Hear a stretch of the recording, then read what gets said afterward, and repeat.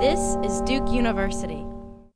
Droplets accumulate on fibers all the time, like morning dew honey on spider webs, warning those who might walk through them. But what if tiny droplets dance themselves right off the silk strands instead? We have found that this fantasy is actually a reality on thin fibers coated with Teflon.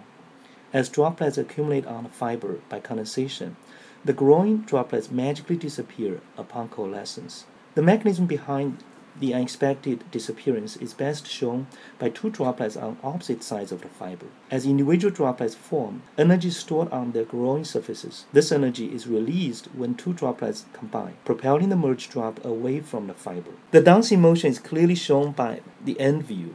The merged drop first moves toward one side of the fiber with a large momentum.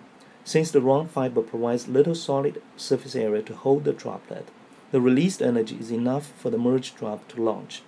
The round geometry of the fiber is critical for the self-removal. On a flat surface, the adhesion from the solid is too much for the drop to dance away, even with the same Teflon coating.